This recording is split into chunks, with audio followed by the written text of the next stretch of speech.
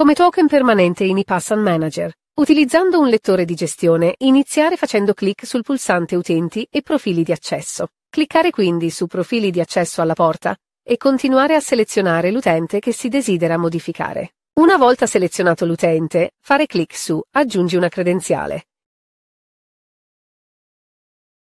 Selezionare il tipo di credenziale e posizionare il token sul lettore di gestione. Il codice e il colore del token si aggiorneranno automaticamente sullo schermo, indicando che l'aggiunta di un nuovo token è avvenuta con successo. Infine, fare clic su Salva prima di uscire.